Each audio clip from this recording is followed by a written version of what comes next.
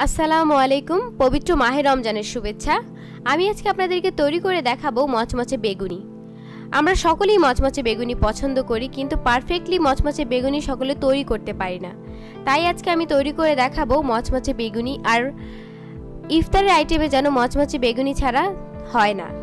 তাই চলুন দেখাচ্ছি আমি কত সহজে এবং কি কি উপকরণ দিয়ে মচমচে বেগুনি তৈরি করলাম।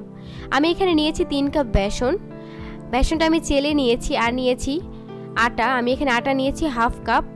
আটাটা চাইলে দিতেও পারেন এবং না চাইলে না দিতে পারেন বাট দিলে ভালো হয়।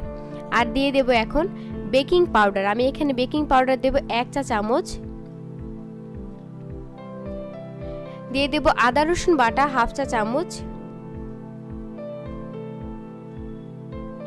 দিয়ে দিচ্ছি এক চিমটি পরিমাণে হলুদের গুঁড়া। দিয়ে দিচ্ছি মরিচের গুঁড়া হাফ চা চামচ। আর দিয়ে দিচ্ছি লবণ স্বাদ মতো। দিয়ে প্রথমে আমি শুকনো উপকরণগুলো মিশিয়ে নিচ্ছি।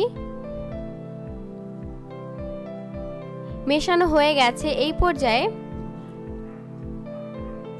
আমি দিয়ে দেব পানি। আমি অল্প অল্প পানি দেব এবং অল্প অল্প করে নাড়াচাড়া করে মিশিয়ে নেব। একেবারে সব পানি দিতে যাব না, এতে করে অনেক সময় বেশি পানি হয়ে যায় এবং পাতলা হয়ে যায়।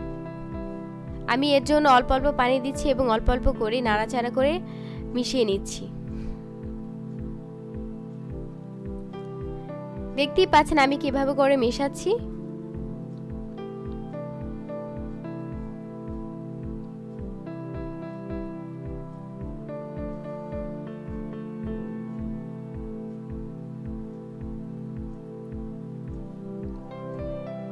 মেশানো হয়ে গেছে এবং দেখিয়ে দিচ্ছি কেমন হলো এটার ঘনত্বটা। এটা অনেক বেশি পাতলা হবে না এবং অনেক বেশি ঘন হবে না।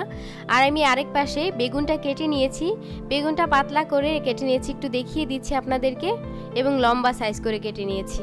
এভাবে করেই যে কাটতে হবে এমন কোনো কথা নেই, আপনারা আপনাদের ইচ্ছে মতো কেটে নিতে পারেন। দিয়ে দিচ্ছি লবণ, আমি এখানে এক চিমটির থেকে একটু বেশি লবণ দিয়েছি, কারণ আমি বেসনে পর্যাপ্ত পরিমাণ লবণ দিয়েছিলাম। আমি এখন একটু মিশিয়ে নিচ্ছি বেগুনের সাথে। মেশানো হয়ে গেছে। এখন একটা কড়াইয়ে তেল খুব ভালো করে গরম করে নিয়েছি আর দিয়ে দিচ্ছি বেসনের সাথে গড়িয়ে বেগুন।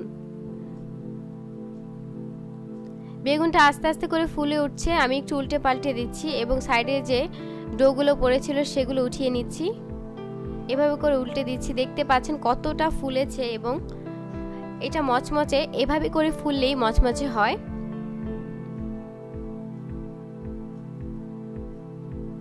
এভাবে করে এক সাইডে আমি রেখে দিয়েছি একটা ভাজা ভাজা বেগুনি এবং আরেক পাশ থেকে ভেজে নিচ্ছি। একেবারে সবগুলো দিতে যাবেন না, একটা একটা করে ভাজতে হবে, এতে করে ভাজাটা খুব ভালো হয়। আমি এই পাশ থেকে বেগুনটা উঠিয়ে নেব এখন।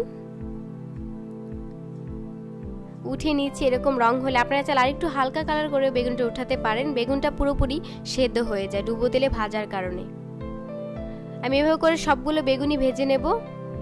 খেয়াল রাখতে হবে চুলার আঁচটা যাতে মিডিয়ামে থাকে। ভাজা হয়ে গেছে আমার আজকের বেগুনি এবং মচমচে বেগুনি। আশা করছি আপনাদের সকলের কাছে ভালো লাগছে। আমি একটা টিপস দিচ্ছি, তা হচ্ছে বেসনটা সবসময় চেষ্টা করবেন ভালো কোয়ালিটি নেওয়ার জন্য এবং বাসায় যদি তৈরি করেন তাহলে তো কথাই নেই। আশা করছি আজকের রেসিপিটি আপনাদের সকলের ভালো লেগেছে এবং বাসায় তৈরি করে খাবেন, আমাকে জানাবেন কেমন হলো। থ্যাংক ইউ ভিউয়ার্স আমার ভিডিওটি দেখার জন্য।